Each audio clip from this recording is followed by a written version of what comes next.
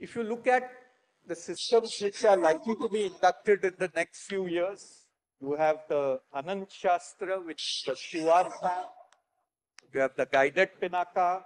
You have the advanced lightweight torpedo, the trawl assembly, infantry floating bridge. Three, two, one, now. You have the long range land attack cruise missile. You have the long range anti ship missile. You have the Akash anti system. The air to air missile Astra Mark II. So, in the next two, three years, we should have several systems inducted.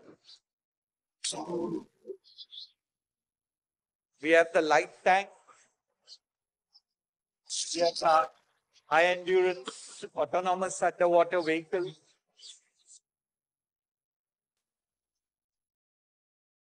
The very short range air defense system,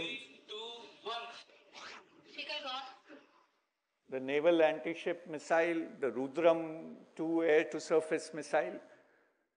So, in spite of our working in silos, we have achieved quite a bit, and in the next two, three years, several new systems will also get inducted.